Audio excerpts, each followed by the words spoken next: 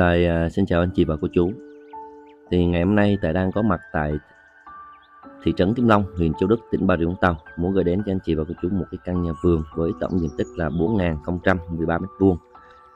Trong đó thì uh, mình có sẵn 100 m2 là thổ cư đất ở anh chị ha. Và thửa đất của mình thì uh, phủ hồng được uh, hơn 700 m, quy hoạch là đất ở tại đô thị, còn lại là quy hoạch là đất trồng cây lâu năm. Và hiện tại trên đất thì có sẵn một cái nhà và có một số cây ăn trái và cây cảnh.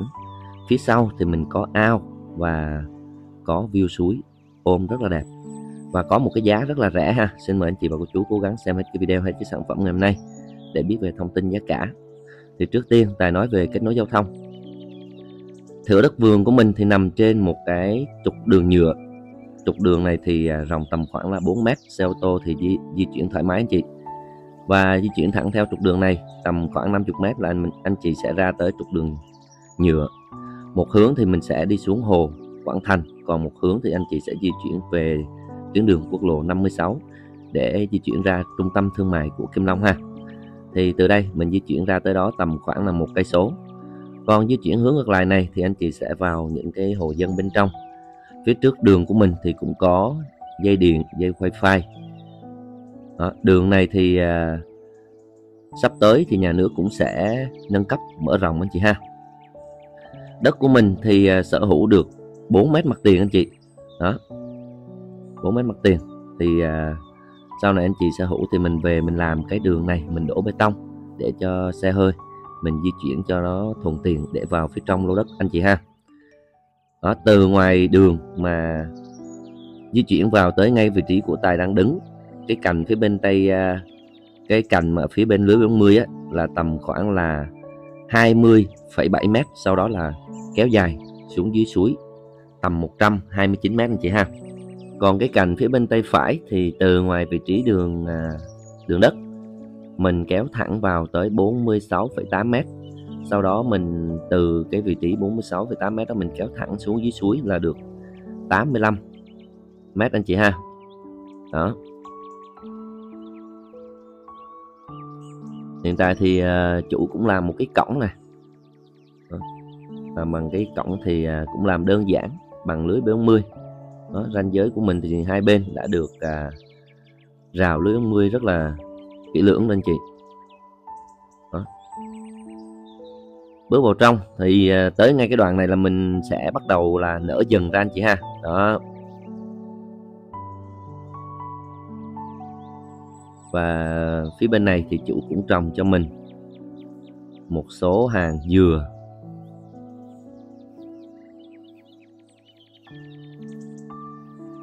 Đất của mình thì à, tương đối bằng phẳng. Và trên đất thì cũng đã có một cái nhà cái nhà nghỉ dưỡng. Nhà này thì à, ở tầm khoảng là một gia đình thôi. Còn nếu như anh chị à, sở hữu về mà mình thấy cái nhà này mà nhỏ thì mình có thể là mình nâng cấp mình xây à, uh, rộng ra một tí xíu để cho mình ở cho nó rộng rãi thoáng mát anh chị ha. Ở phía bên này thì có một số cây ăn trái như là sơ ri đó, mận rồi à, măng cục. Trên đất của mình thì à, đã có giếng khoan sẵn rồi anh chị. Đó mình mua về là mình chỉ cần là sở hữu thôi ha đất của mình thì à, cái khoảng bên này thì chủ cũng trồng cho mình à, một số cây ăn trái à, như là mít thái rồi à, một số cây ổi Đó. và phía xa xa thì mình vẫn còn lại một cây xoài một cái xoài à, rất là lớn anh chị ha Đó, đất của mình thì đất trống còn rất là nhiều thì sau này anh chị có thể là về mình thiết kế, mình tạo dựng, mình xây dựng thêm một số hàng mục theo à, ý thích của anh chị. Còn một số còn lại thì anh chị sẽ trồng dầm thêm vài cây ăn trái như là sầu riêng, rồi bưởi, chôm chôm, măng cục samuche đó.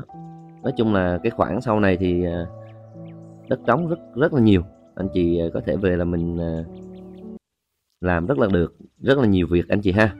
Có thể là tạo dựng một cái căn nhà mát ở ngay cái phía dưới của cái hồ cá. Đó xong ở trên này thì mình có thể là mình à, làm những cái à, cái đường đi. Rồi hai bên thì mình trồng thêm một trang trí thêm một số tiểu cảnh cây cảnh. Rồi trồng xen kẽ một số cây ăn trái nữa là nhìn cái khu vườn mình rất là đẹp ha. Ở, ở đây thì cũng có một cái ao cá rồi. Ao cá này thì anh chị về thì có thể là mình xây dựng đó, xây kè lên để cho nó kiên cố hoặc là anh chị uh, xây những cái nhà mát cặp ngay cái chỗ ao cá này cũng rất là lý tưởng ha đó, tiến lui sau này thì mình còn à, nguyên một cái vườn à, vườn măng luôn anh chị đó.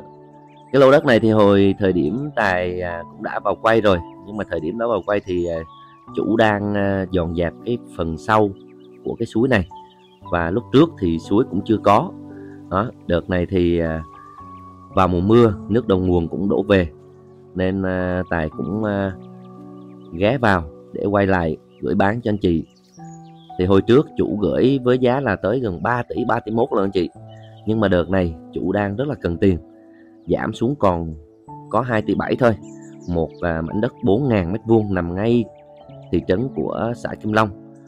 À, quy hoạch là đất ở tại đô thị có sẵn 100 mét thổ cư mà giá chỉ có là 2 tỷ 7 thôi anh chị ha. Đó ở sau này thì suối rất là nhiều.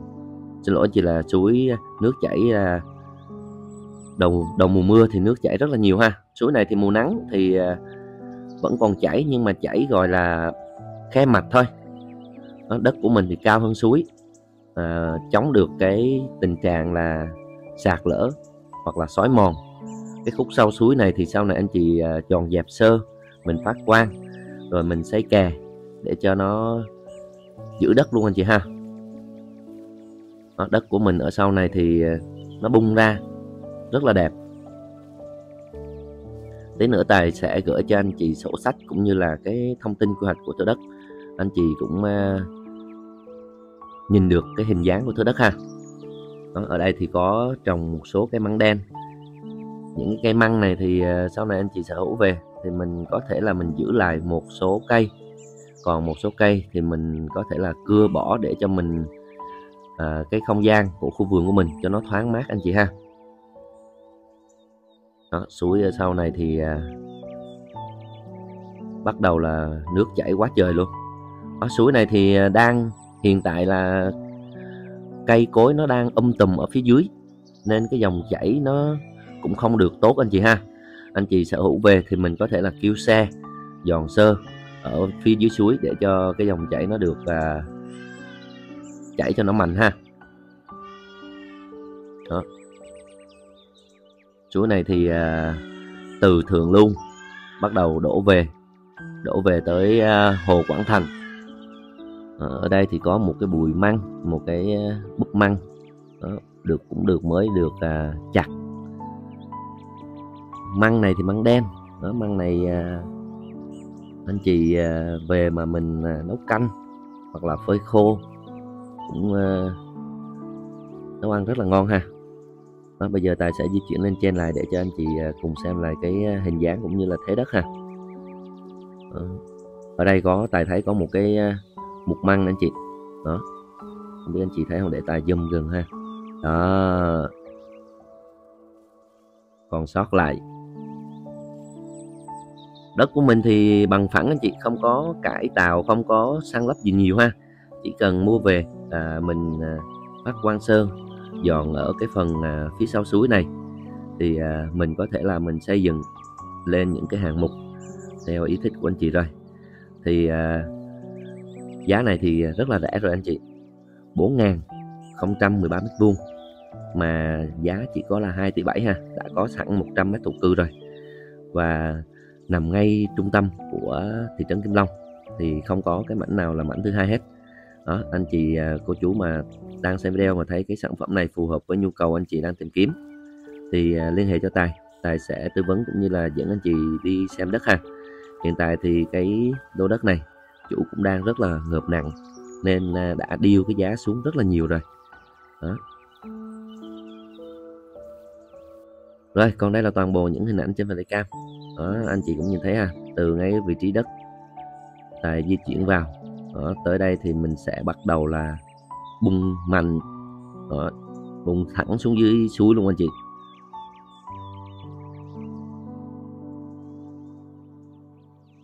Ở phía sát bên mình thì à, cũng có một cái nhà vườn. Cũng trồng à, vườn cây ăn trái sầu riêng cũng tươi tốt nữa anh chị ở cái nhà vườn đó thì mấy lúc trước tài cũng đã vào review cũng lâu rồi khá lâu rồi mà cũng biết là chủ cũng đã bán chưa anh chị ha? Đó, tới ngay đây là mình cuối ranh cuối ranh giới đất anh chị ha? Đó, phía sau à, phía bên kia thì cũng có nguyên một vườn à, trồng sầu riêng luôn.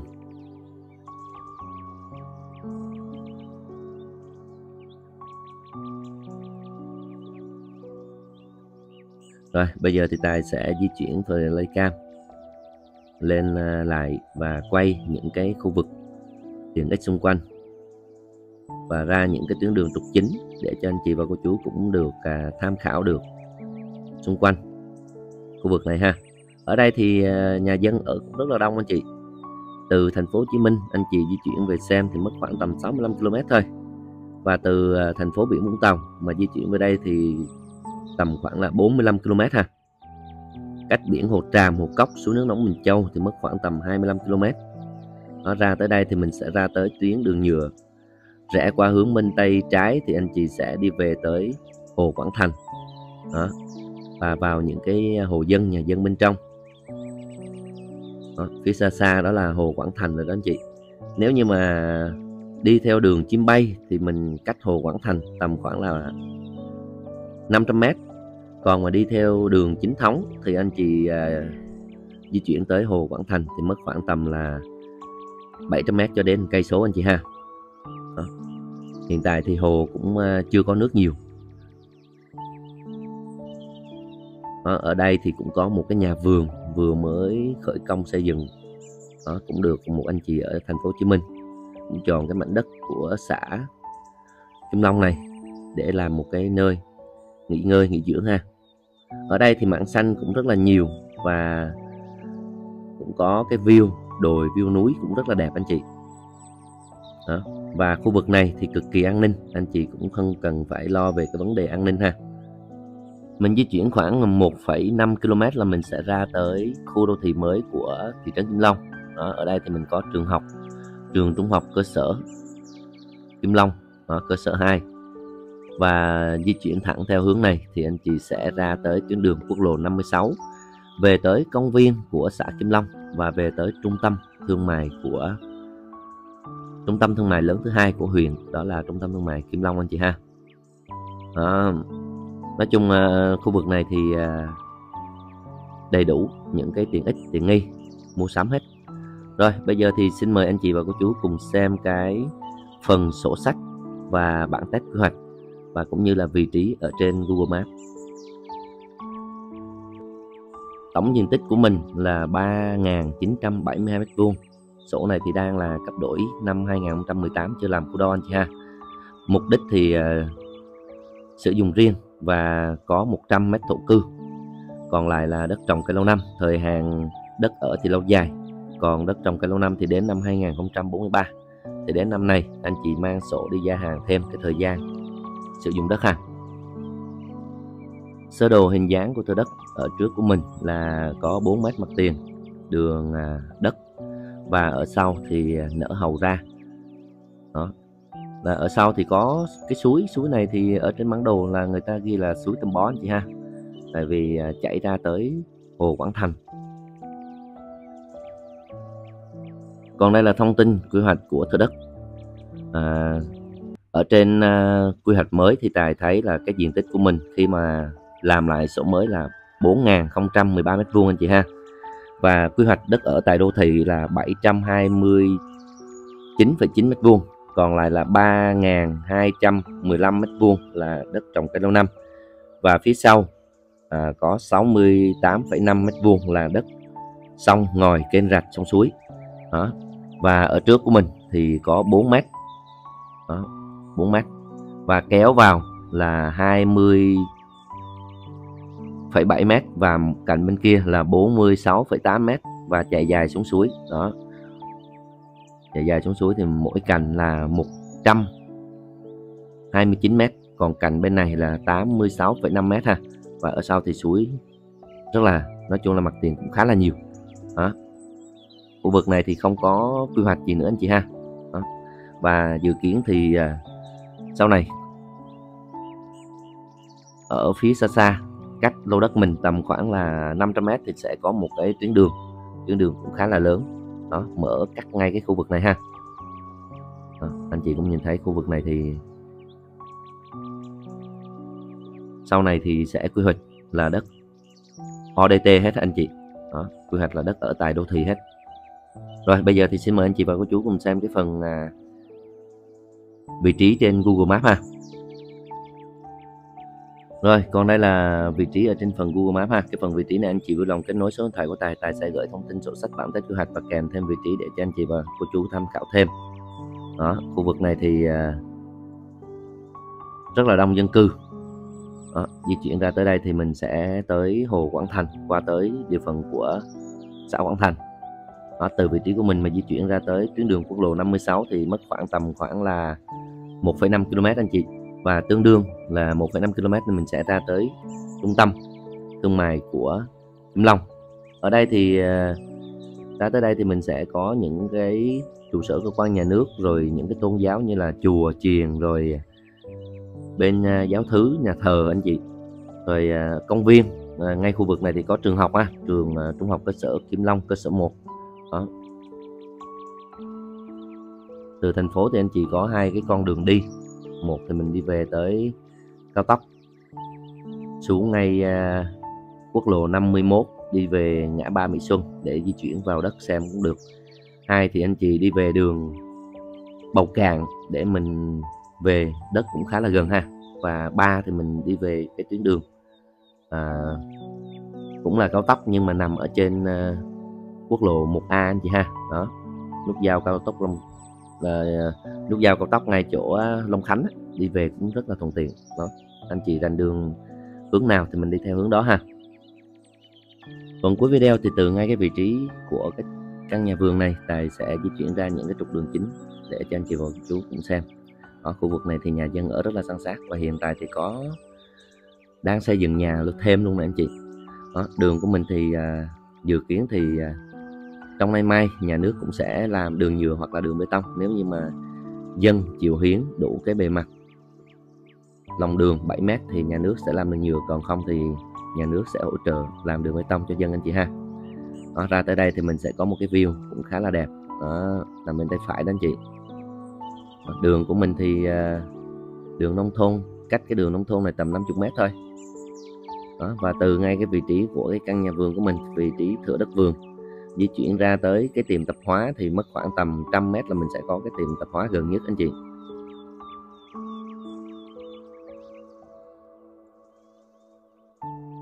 Ờ, ở đây thì nói chung là nhà vườn nghỉ dưỡng rất là nhiều. Không khí ờ, những lô đất mà giáp với hồ, gần với suối thì rất là mát anh chị. Đó, ra tới đây thì mình sẽ có cái tập hóa, buôn bán cũng rất là đầy đủ ha rồi tới đây thì mình rẽ qua hướng bên tay trái thì mình chạy ra tới trục đường C. Trục đường C thì nằm à, song song với trục đường B của thị trấn Kim Long. Đó, tới đây mà thì anh chị à, muốn di chuyển ra tới quốc lộ 56 thì mình rẽ qua hướng bên tay phải ha. Đó. còn tài thì tài di chuyển theo cái tuyến đường này để cho anh chị và cô chú cùng xem được cái khu đô thị mới của xã Kim Long cũng như là di chuyển ra tuyến đường. Kim Long Quảng Thành. Đó, di chuyển tầm một đoàn nữa thì mình sẽ ra tới đường à, Kim Long Quảng Thành anh chị. Rồi thì video cũng khá là dài rồi Tài cũng xin phép kết thúc phần giới thiệu thửa đất vườn ngày hôm nay tại đây ha. Cảm ơn tất cả quý anh chị cô chú đã dành một chút thời gian quan tâm về cái sản phẩm đất vườn nhà vườn ngày hôm nay. Thấy video hay, bổ ích thì để lại cho Tài xem một lượt like cũng như một lượt đăng ký kênh giúp kênh của Tài càng ngày càng phát triển hơn ha Kính chúc anh chị cô chú có một tuần làm việc thật là hiệu quả và thành công trong cuộc sống Kính chúc anh chị cô chú xem video lựa chọn cho mình một sản phẩm bất động sản tốt nhất đầu tư đúng hướng và khởi sinh thịnh vượng Xin chào và hẹn gặp lại tất cả quý anh chị cô chú ở những video tiếp theo review bất động sản ở khu vực huyện Châu Đức và vùng ven. Quý anh chị cô chú nào có đất chính chủ cần bán ở khu vực huyện Châu Đức và vùng ven à, muốn gửi bán thì liên hệ cho Tài theo số điện thoại ở trên màn hình ha. Tài sẽ tư vấn cũng như là đi à, sắp xếp thời gian, đi quay bán cho tất cả quý anh chị cô chú. Một lần nữa thì à, xin chào và hẹn gặp lại tất cả quý anh chị cô chú.